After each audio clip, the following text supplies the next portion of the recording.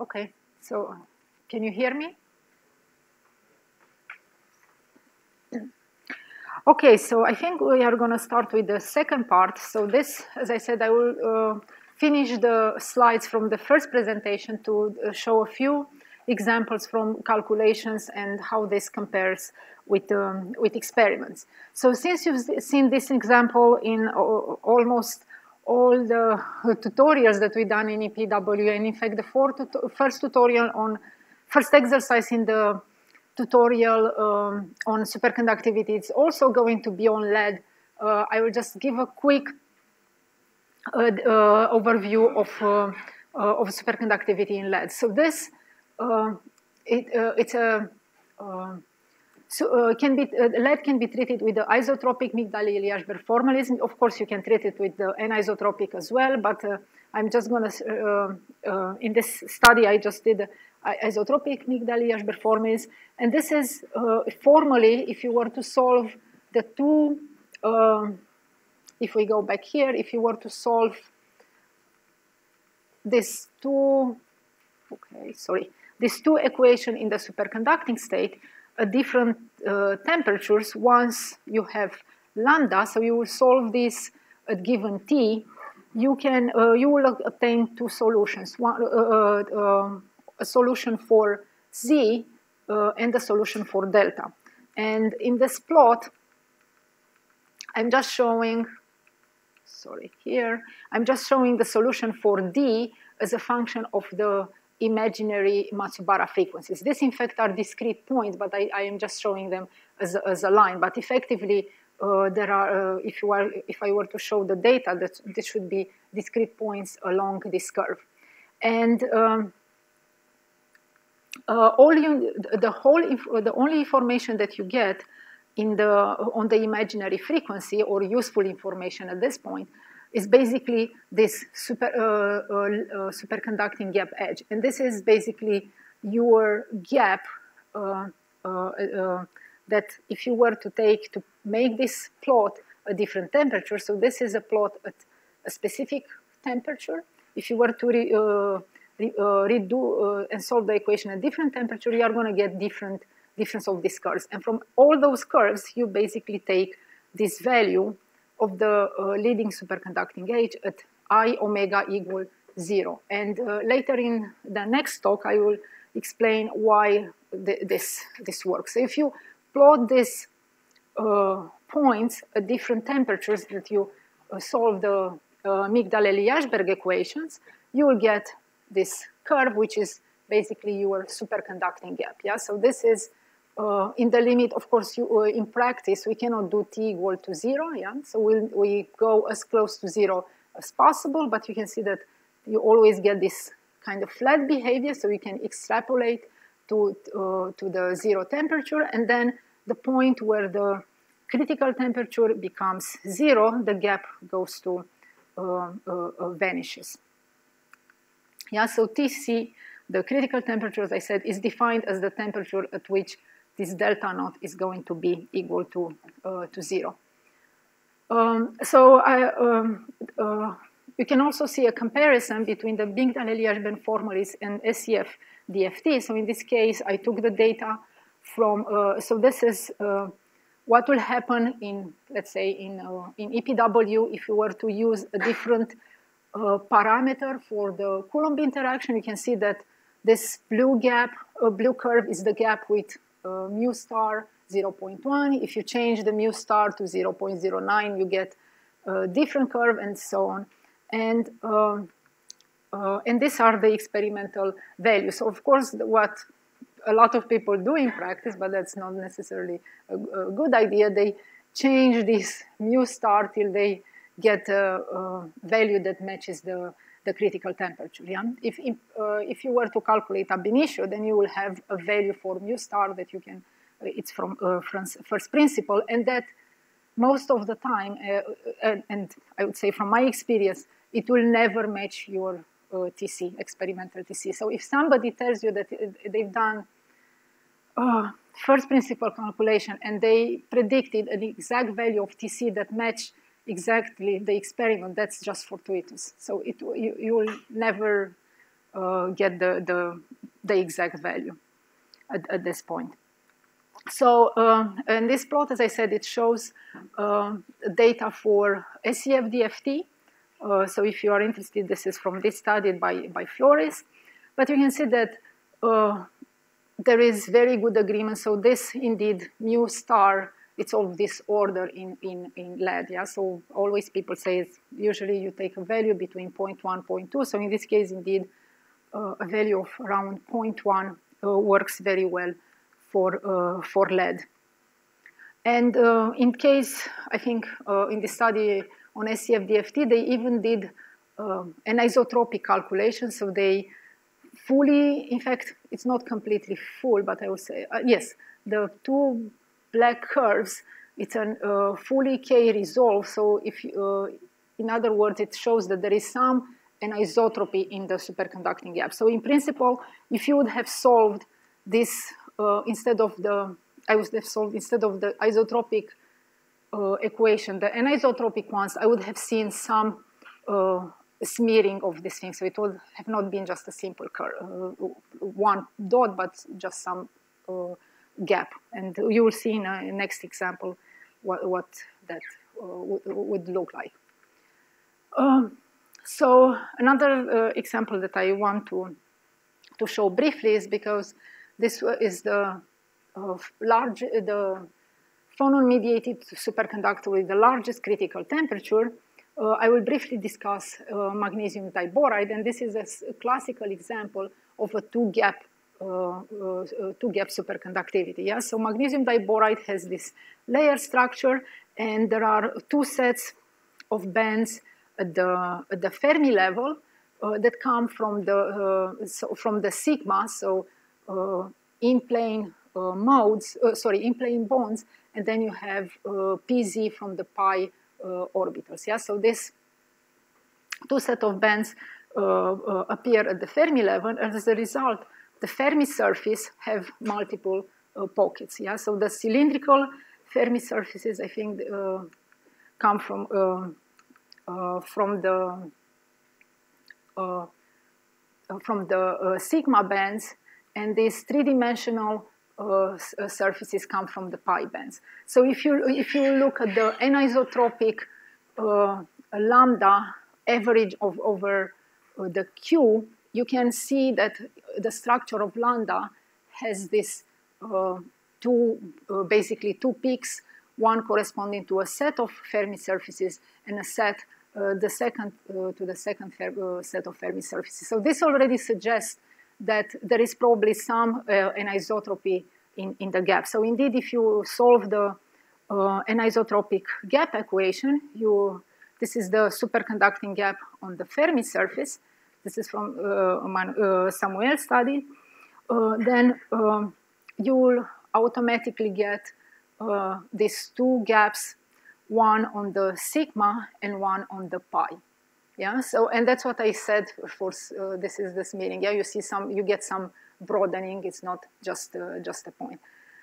If, for example, you, you were to solve this using the isotropic gap equation, you will just have gotten one band somewhere here in between. Yeah? It's almost like an averaging of these two gaps. So that's why I'm saying that, for example, McMillan uh, expression uh, will, will have never, uh, can never give a reasonable description of a multi-gap uh, superconductor, especially if there are uh, the uh, gaps are very far apart. Yeah, so you can see here that I, we are also overestimating the TC. it's basically here, it's 50 Kelvin in experiments is uh, 40. So if you were to increase, in principle, this Coulomb interaction, you can lower the, the critical temperature. Yeah. But again, this is just an empirical parameter in, in our case. And uh, that's also a comparison with superconducting DFT. So you remember that I said that in superconducting DFT, both the electron phonon and the electron electron interaction are on a, uh, treated on an equal footing. So um, in their first study, when they, uh, they looked at the, uh, the superconductivity in MgB2, it seemed that they got a very good agreement with the experiment.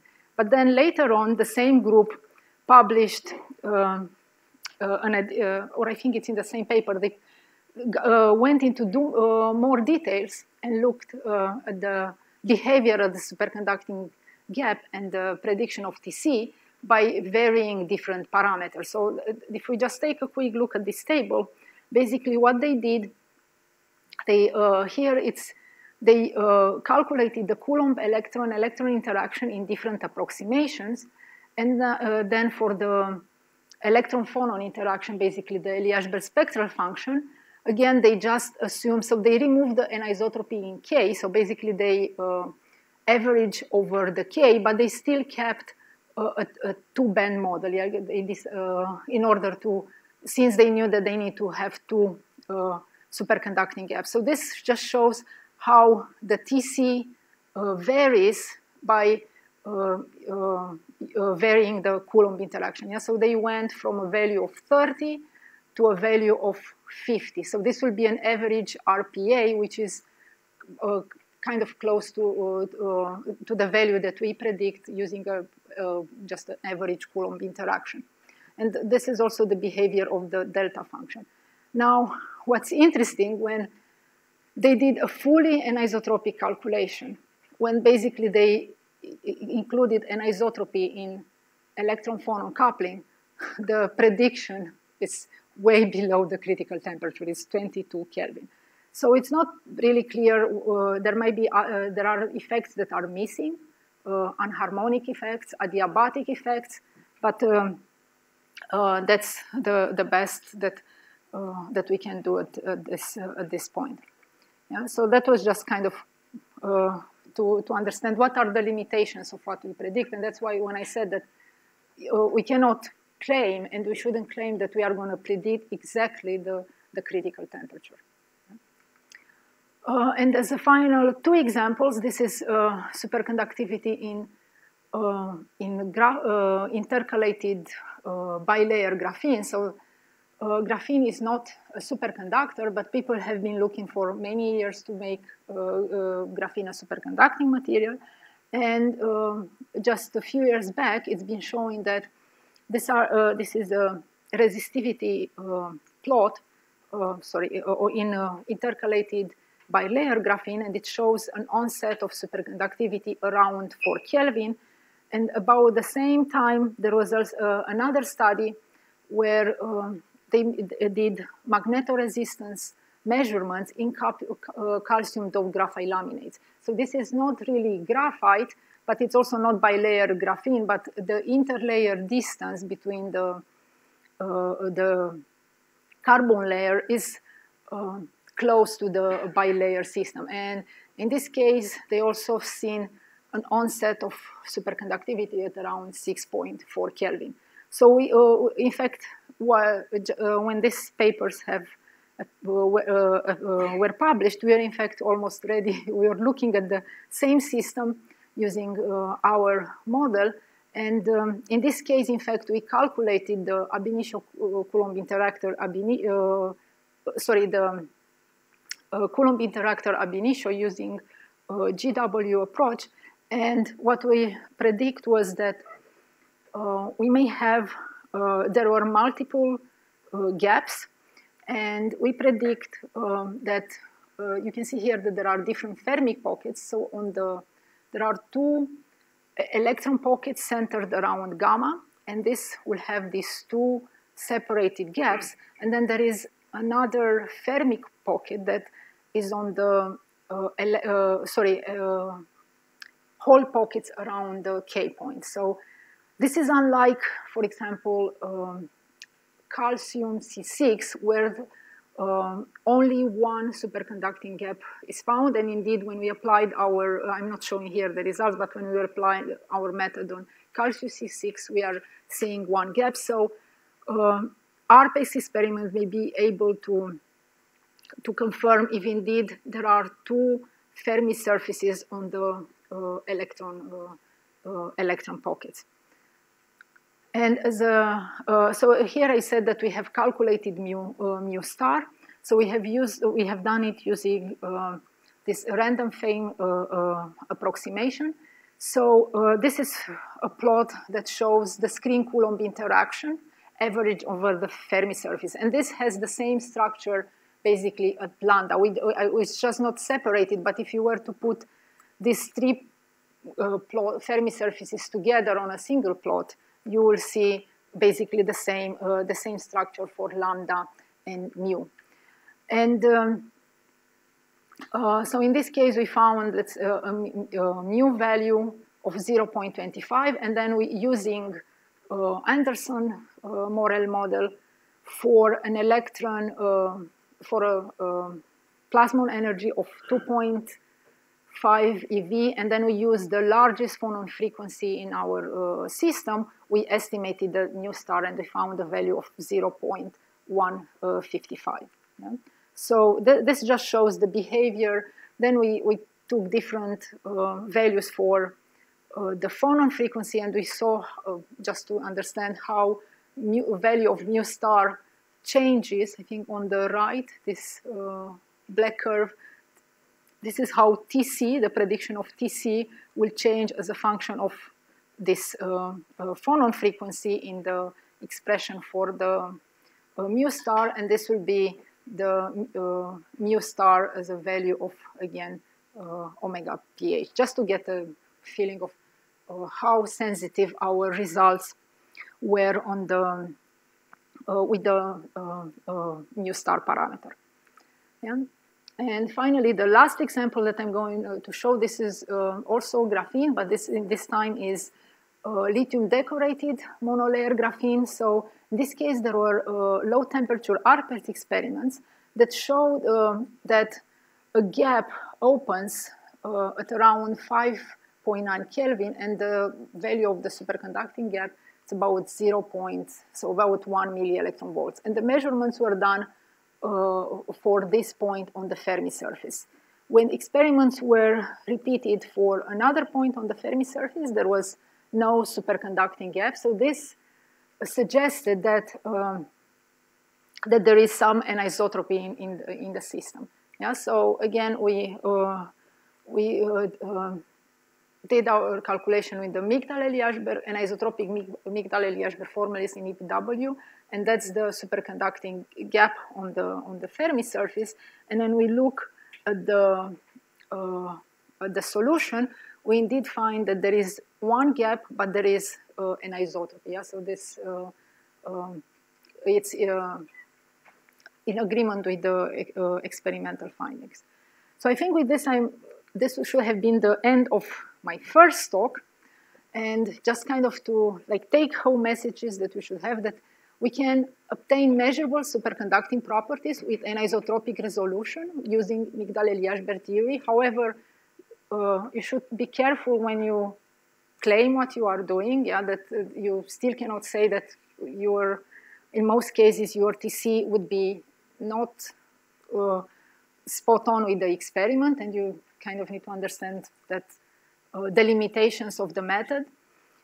Um, now, when it comes to uh, converging or practical issues, you will need to do uh, calculate these electron phonon matrix elements on very dense meshes. Yeah, and we will see uh, more in the in the next talk that I will give. And second, uh, the Migdal-Eliashberg theory and this superconducting DFT describe the same physics. Yeah, so and uh, in principle, if one introduces uh, a first principle approach to calculate mu star, they, they should uh, be in very good agreement. Questions about these parts before I move to the second talk? Okay, then I can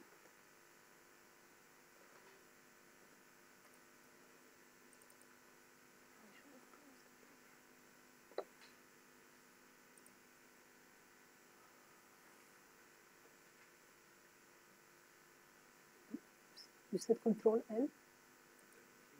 View. Okay. View. Full screen mode. Okay, so now it's um, uh, with more detail what exactly or how exactly these uh, equations are implemented inside EPW. And uh, I will go over the structure of the code and then uh, also mention a few more technicalities when it, uh, when it comes to uh, what parameters we really need to, to converge. So as I, uh, I will describe the implementation of the anisotropic case, since this is more difficult, but uh, the same uh, principle is behind the isotropic case. So, um, so the key quantities that we will need to calculate is this lambda, and this we already shown is done once we know the electron phonon matrix elements.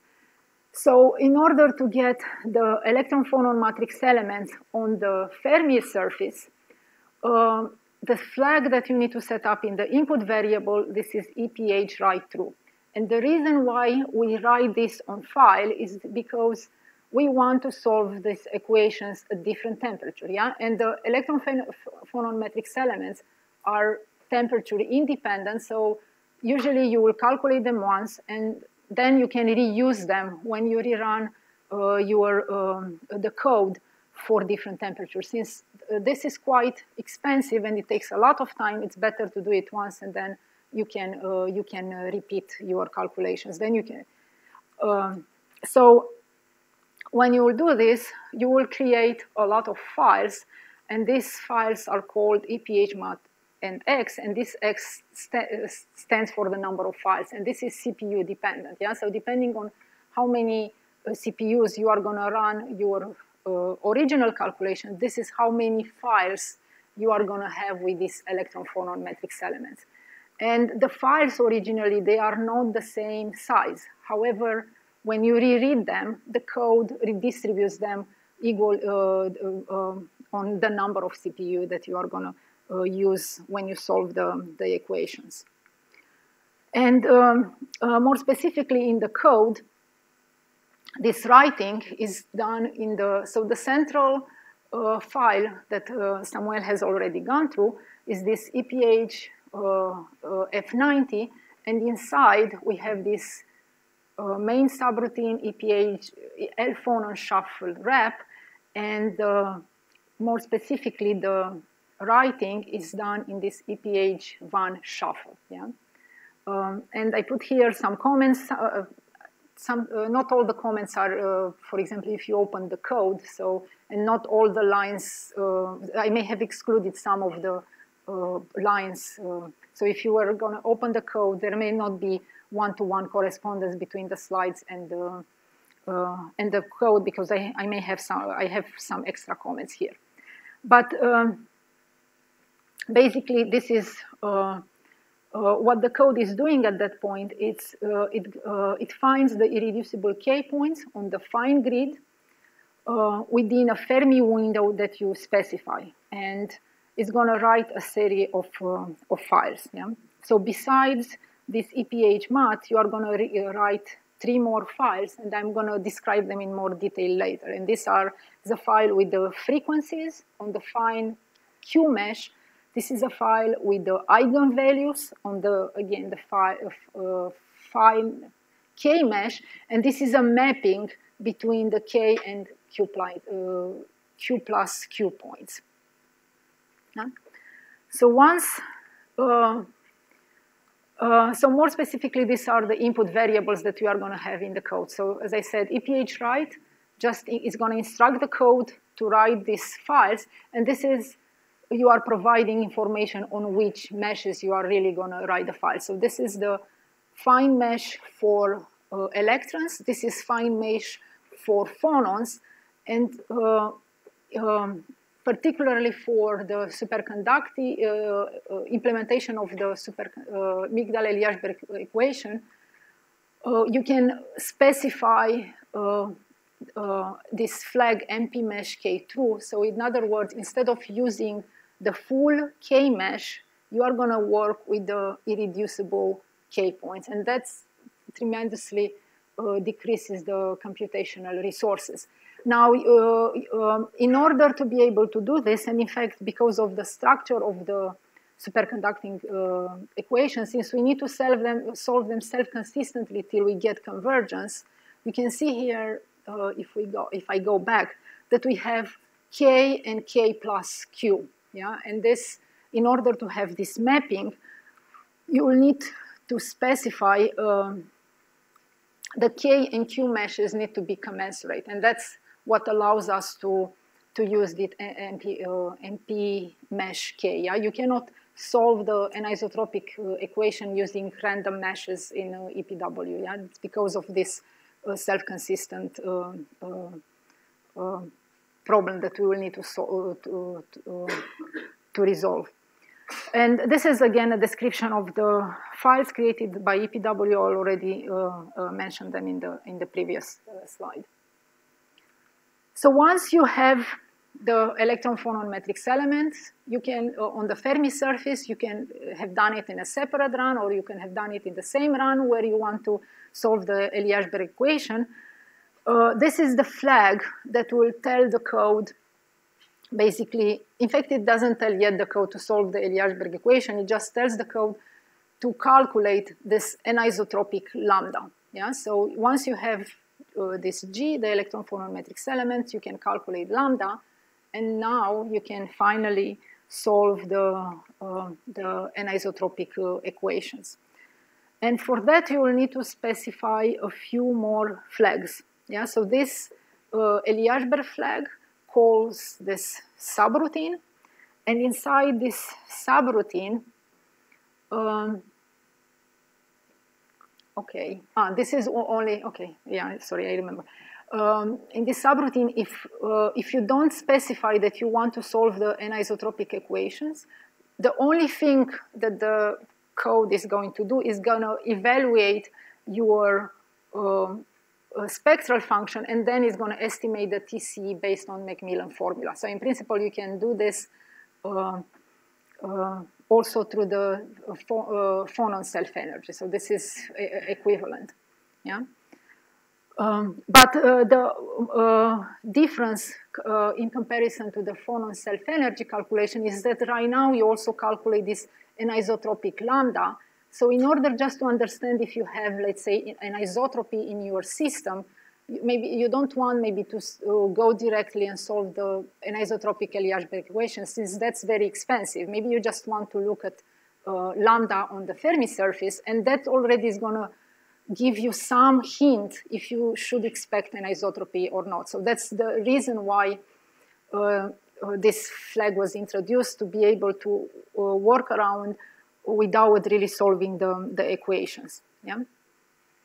Now, uh, just by running that flag Eliashberg through, you are going to generate this set of files. Yeah? So you are going to get an uh, isotropic Eliashberg spectral function.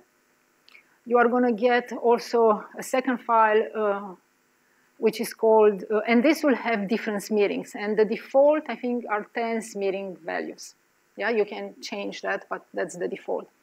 Then you can you are also going to get another file which is A2F ISO. This is basically the uh, also the Eliashberg spectral function as a function of frequency, and the second column is just the second column from basically this smearing from this file, while the rest of the columns you are going to have three n columns where n is the number of atoms is just the mode resolve Eliashberg spectral function. Now you need to keep in mind this mode uh, resolve doesn't have anything to, uh, any information about the specific modes to which atomic species they represent. For that, you you should do you need a projection. Yeah, so it's just uh, uh, or, in the order that the modes modes appear. So it's not necessarily particularly useful, but sometimes you you you may want to know just in some region or um, another file that you are going to get. This is uh, this uh,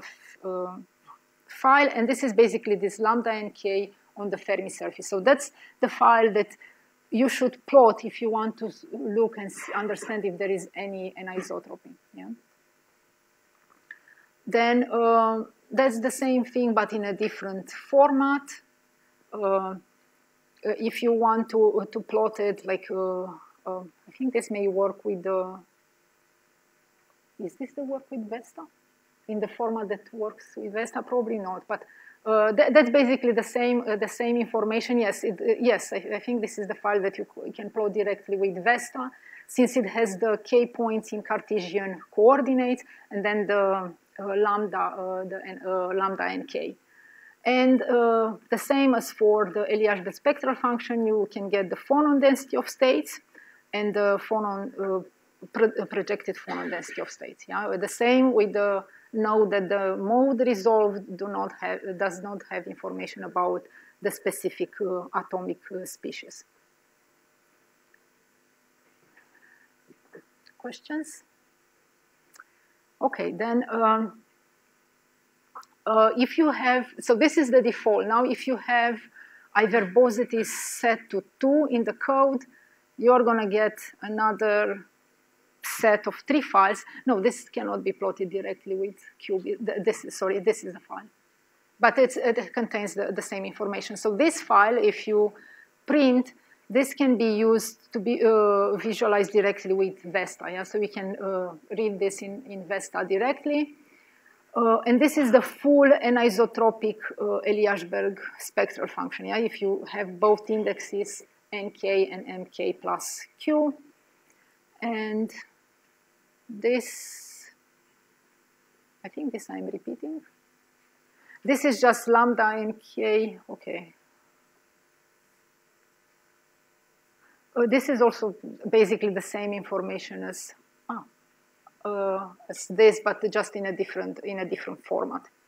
And uh, uh, in, in, the tutorial, it's explained more which files are are plotted. Uh, so okay, so coming back right now, if you go at all these files, that's basically if you plot uh, what you will get if, uh, depending which one you are plotting. Yeah, so this is the A to F, and then if you just do an integral, you will get the lambda, this is this lambda k pairs if you were to plot. So this is the example for MgB2. You will see again that you have two structures. And this is if you were to plot the full anisotropy, what you will get. So these are the basically the values for, for lambda. Um, so, so far we haven't solved yet the, the equation. So if you want to solve the equations, you need to put two extra flags in the input files. And if you want to solve the equation in the anisotropic case, it's this ln iso true. And since we are solving uh, initially on the imaginary Matsubara frequency, uh, imaginary axis uh, on the Matsubara frequencies, we, you need to specify this limag true.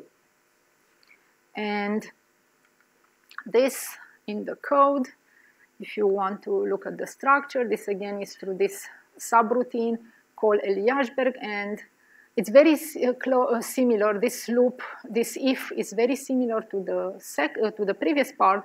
The only difference is that right now uh, the, the code we also call this an Eliashberg and ISO imaginary axis, and that's the subroutine uh, uh, where basically the um, anisotropic Migdal-Eliashberg equations are solved. Yeah, so this is in this, this file, and the steps are following. So first, you see that there is a loop over temperature.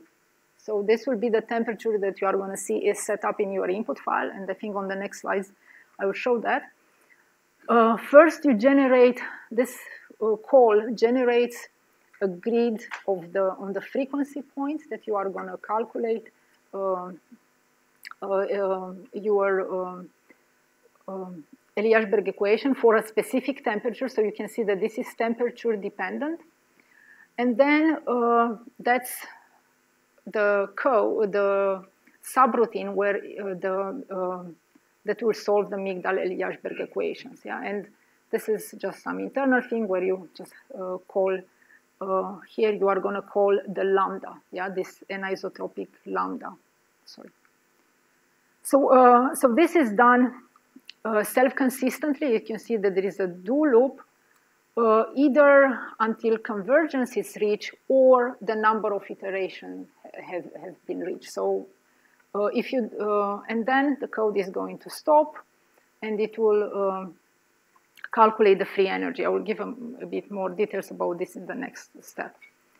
Um, in principle, uh, you can also have a restart option. So uh, let's say you have already calculated uh, a t equal 10. yeah, and you have stopped your calculation and now you want to restart at the temperature 15.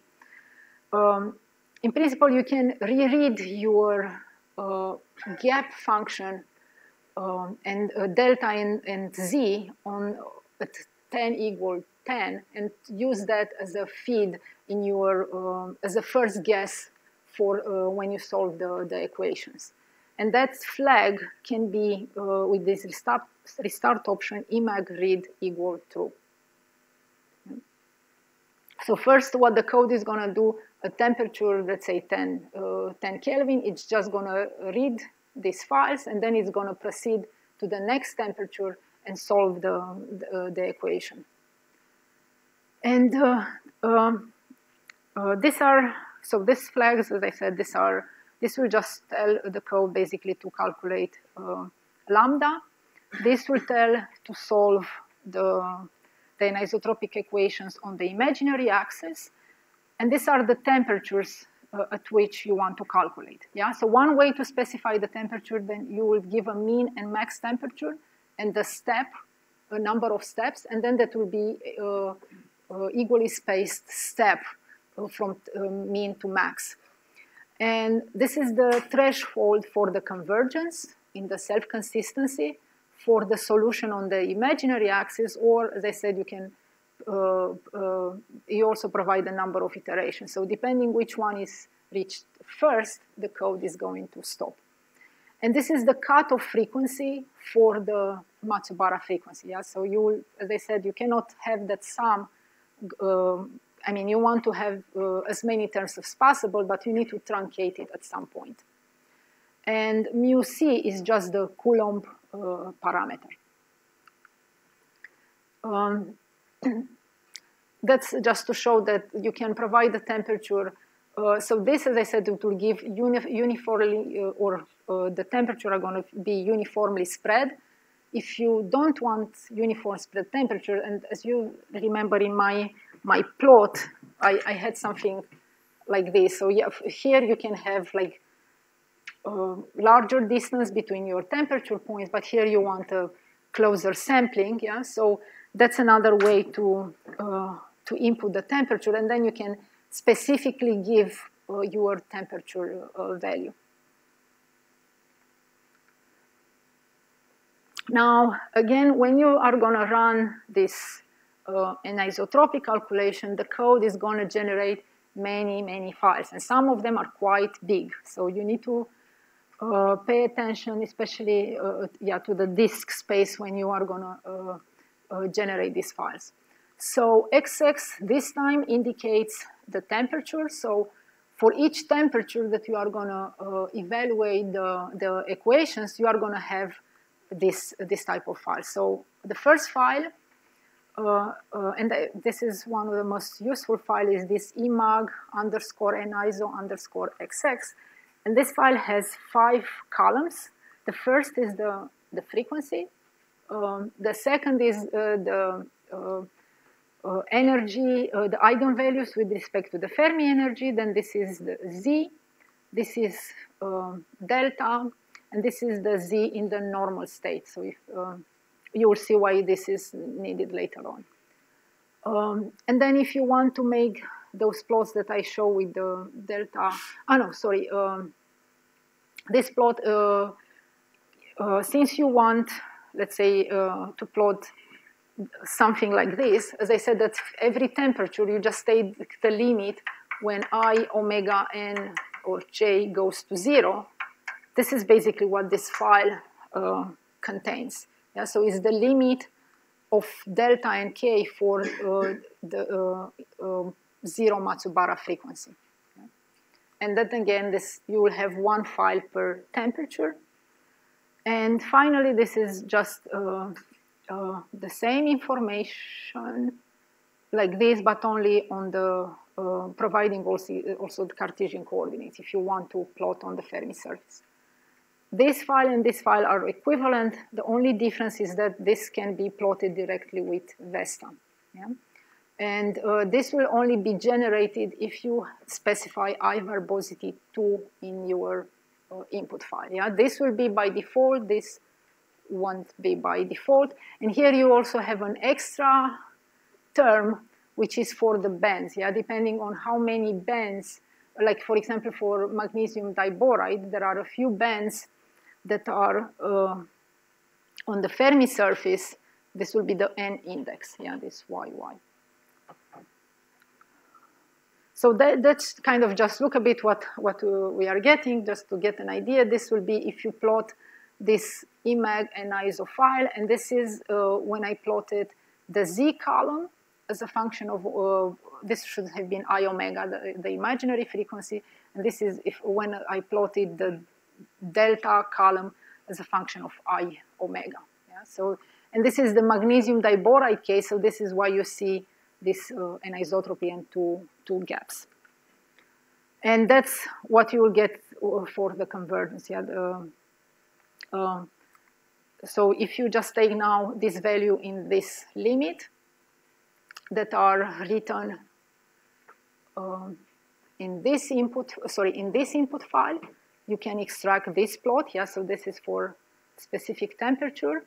And if you were to plot the cube file, you will get uh, this plot. And uh, Samuel has a YouTube tutorial explaining how to get this uh, this nice uh, nice plot. So if you have questions about this, Samuel is the best person to to, to ask. Um, finally, what uh, do you need to converge? You can, as I said, you will need to converge a few, quite a number of parameters. So first of all are the K and Q meshes uh, this wscut, and then there is this additional the Fermi window, yeah, that you can uh, specify in the in the input file.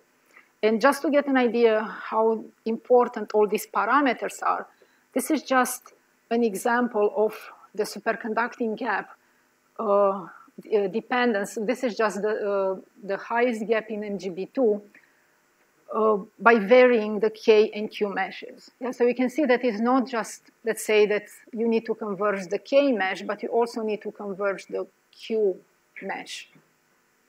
And uh, that's the same, kind of the same plot uh, for the same gap as a function of this cutoff frequency. Yeah, so you can also see 5, 10, 15, and so on. So principle, you, you should go to uh, uh to a cutoff as large as possible till this doesn't change. In practice, uh, it's, it's, uh, the calculations are getting too demanding.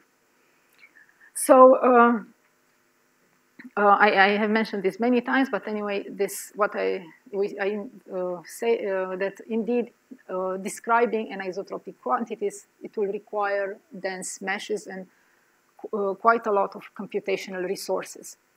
And on the other hand, if you just look at isotropic cases, you still need to converge, but you will see that um, you can go around with maybe not such dense meshes. Like, for example, this is, uh, again, from the same work, while for the, the same meshes that here that shows that delta vary a lot.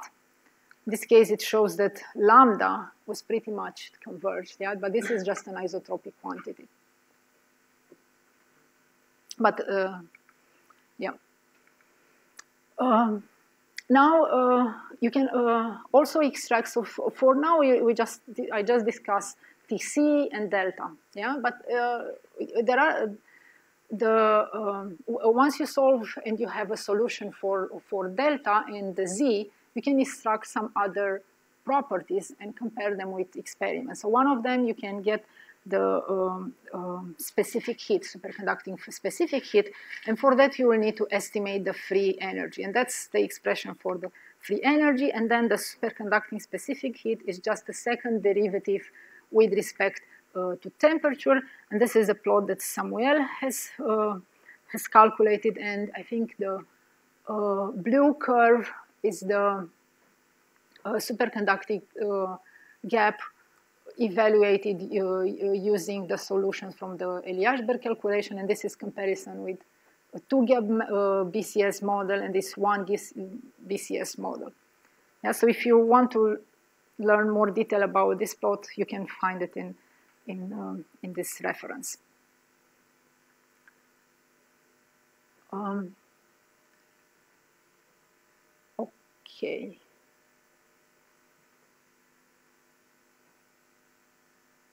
I think this is this. I don't uh, know why I put this. Uh, uh, it's just a repeat of, ah, this is just to show where in the code, yes, where in the code this uh, free energy is calculated and in, it's, in the, it's automatically done once the convergence is, is, is reached. Um, there was a question, uh, so I guess I should stop for just a second here to see if there are questions since I will move on from the uh, imaginary axis to the real axis, and that was a question that somebody asked in the first part of the talk. So, um, so, so far uh, what we've just seen indeed is that the Migdal-Eliashberg equation on the imaginary axis can be solved uh, and only uh, from the numeric, uh, computational point of view, we are doing this because numerically it's very easy or efficient to do just sums over finite number of Matsubara frequency. But in the end, they are going to only provide information about critical temperature, superconducting gap, and the free energy that will give you the specific heat. Yeah? If you want to extract additional information about the spectral function, like, for example, the quasi-particle density of states or the single uh, particle excitation, excitation spectrum, then you need to solve the equations uh, on the um, uh, real axis. Yeah? And formally, uh, uh, you can do direct ev evaluation on the real energy axis, but this will be very demanding computationally. Yeah? I don't think in, this has been done in the anisotropic case directly. Um, and, and, the reason being because if you work out the math, you will see that you'll have uh, you will need to evaluate many principal uh, value integrals. And uh, in fact, as I uh, said earlier, this is implemented in, uh, in uh, Eliashberg, uh, in the code, but just for the isotropic case, but it's not, it has not been tested in a while. So I, I it, it should work, but anyway, it needs maybe more testing. as an alternative, and that's what it's, I, I usually use, is to solve the solutions as we've done so far on the uh, uh, on the real axis by doing an analytic continuation on the imaginary frequency axis. And this can be, analytic continuation can be done in two ways. You can use Padé approximants, and this is very cheap. And uh, that's the recommended method if you use, uh, when you solve the anisotropic equation. Or can, in principle, you do it by an iterative precision, but, uh, procedure, but again, this becomes very heavily computationally. So as, uh, just to give you as an example, uh, this is seconds. This could be hours to days, depending on how many uh, K points you, you have.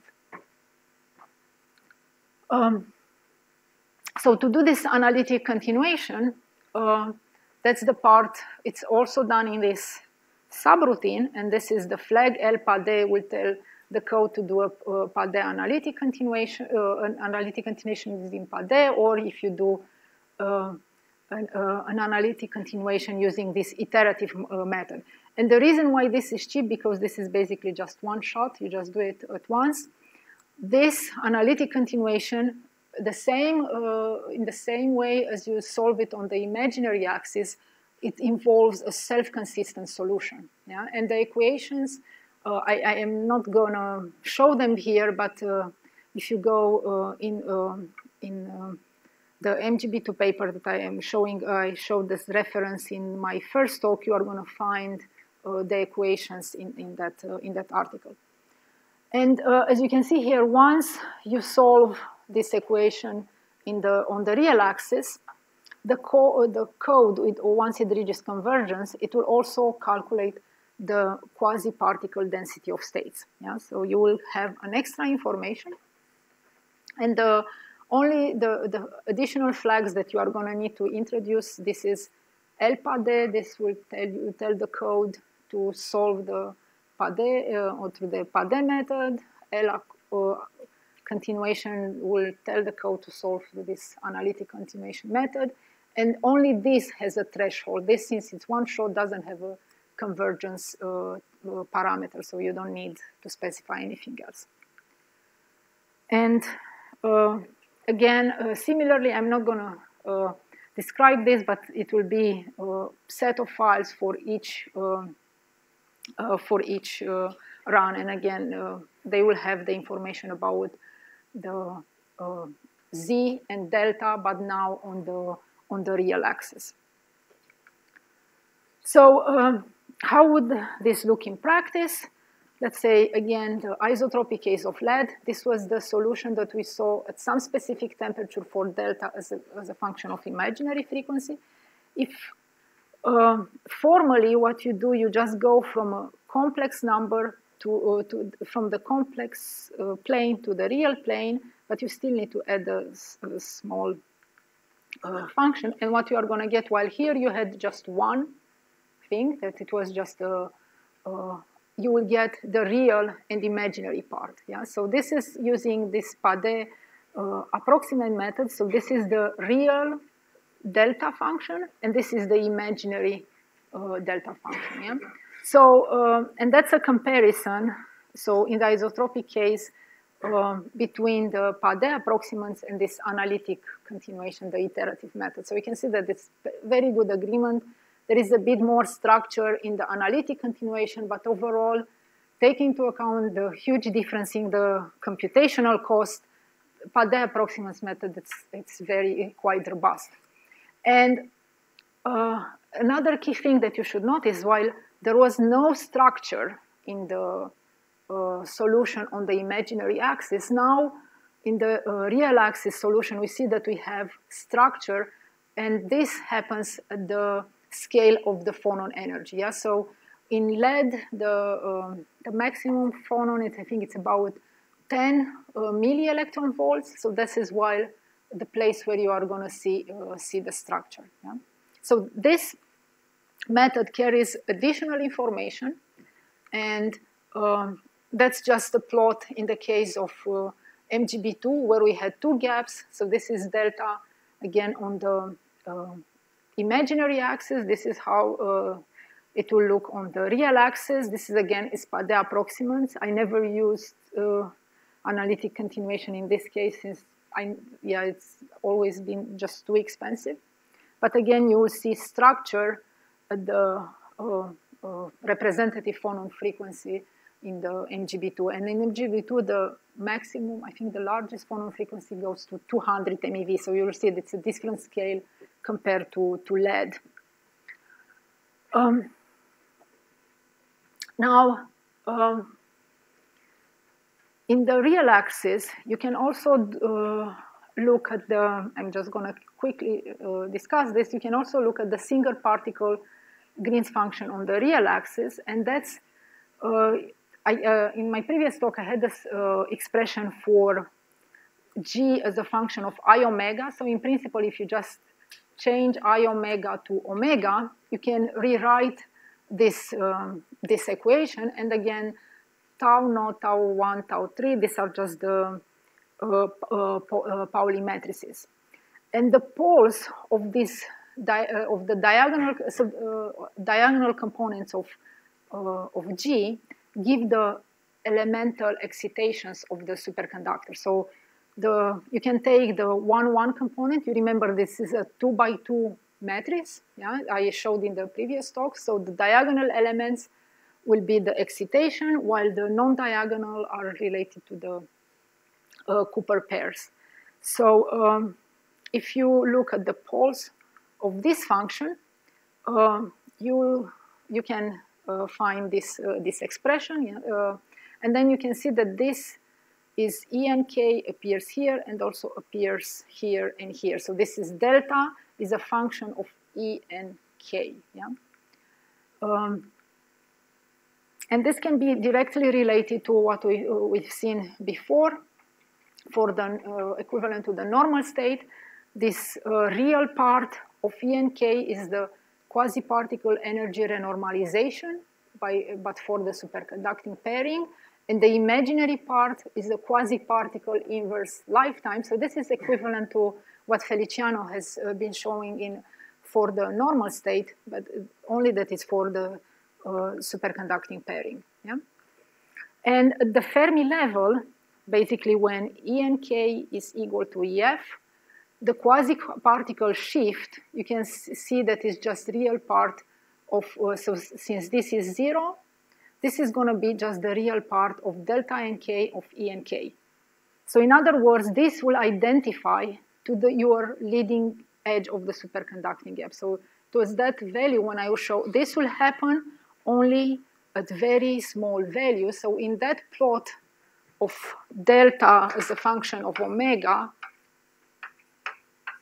this is basically your limit at omega equals zero, yeah, or very close to omega equals zero.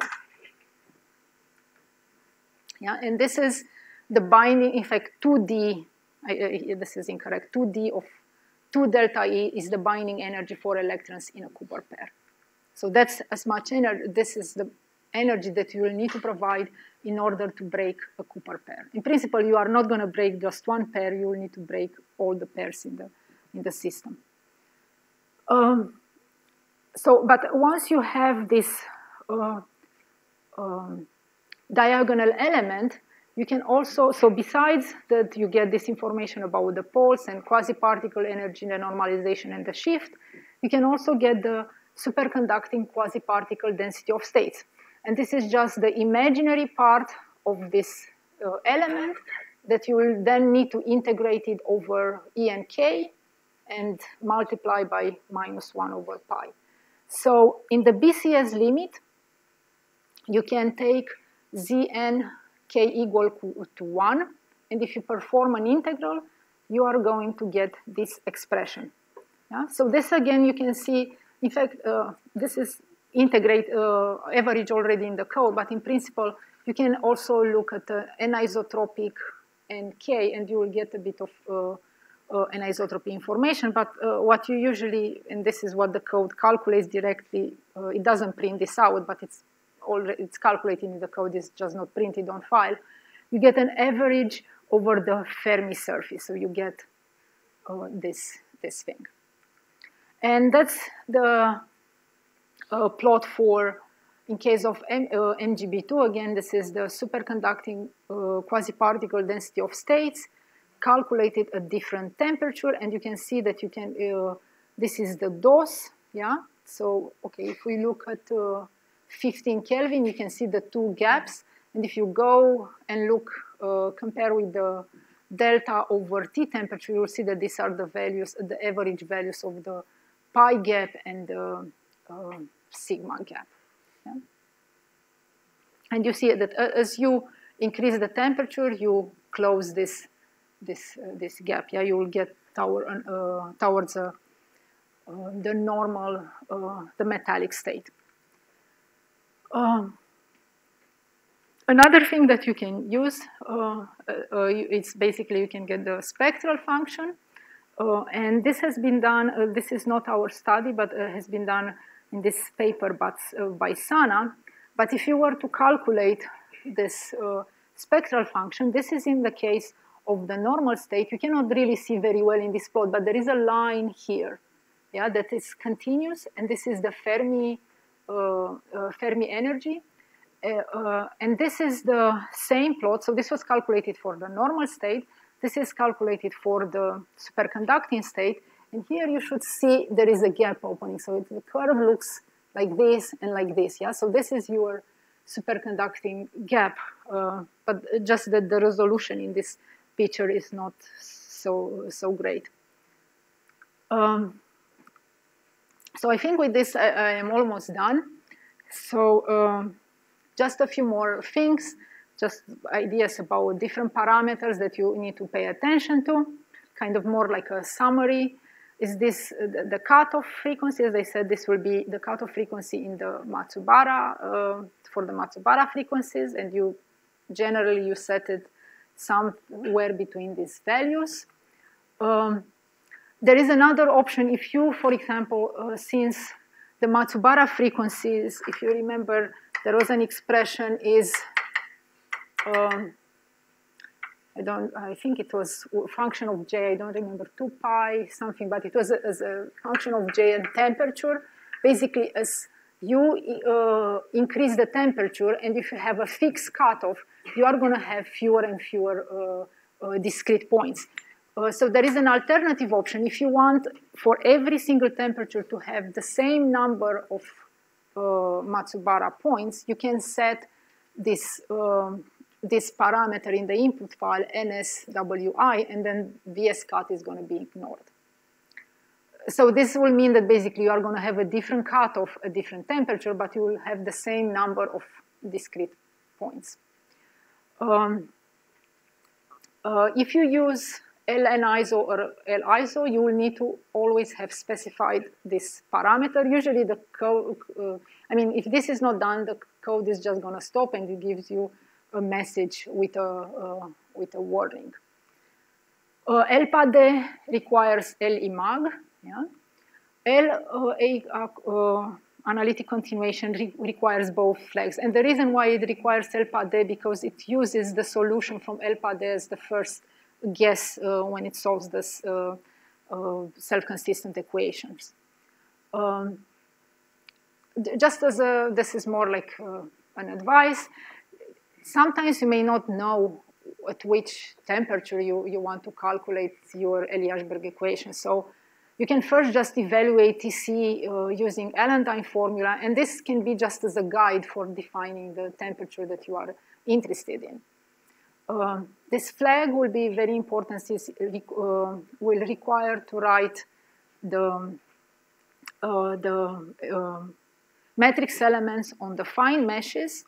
And uh, if you use Eliashberg and these files are, do not exist, again, the program is going to stop with, a, with a message that you, you need these files.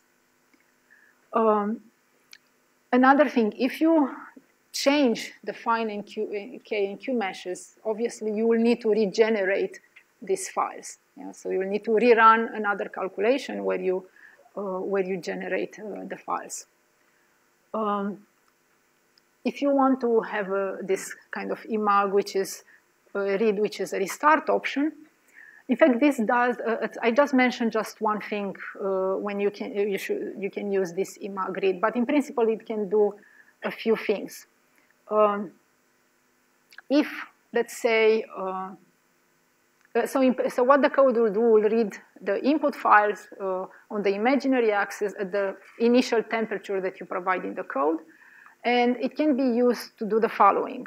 You can uh, um, you can solve the anisotropic equation at some temperature larger than the t where you are reading, and you just are going to use this file as your starting guess. But for example, let's say that you have solved the Eliashberg equation just on the imaginary axis, and now you want to do this PADE approximants. You can just uh, give the temperature where you want to calculate, and then it will uh, solve the, the, the PADE solution. Uh, sorry, it will find the, uh, the solution on the real axis. Or maybe you haven't written these uh, Fermi surfaces and you want to redo something with I-verbosity 2 for a specific temperature. So uh, you will find all the references. In fact, the other talk also have references if you uh, want more uh, information about all this, uh, this study. Like uh, this paper, it's a very nice paper if you want to learn more about the uh, anisotropic Migdal-Eliashberg equation. This is also a very nice study that uh, uh, describes the formalism. And in this study, we are describing the implementation in the EPW code. If you are interested about this PADE approximants, this is the reference you want to look at. And this is a reference uh, for the analytic uh, continuation. And with this, I think can have questions.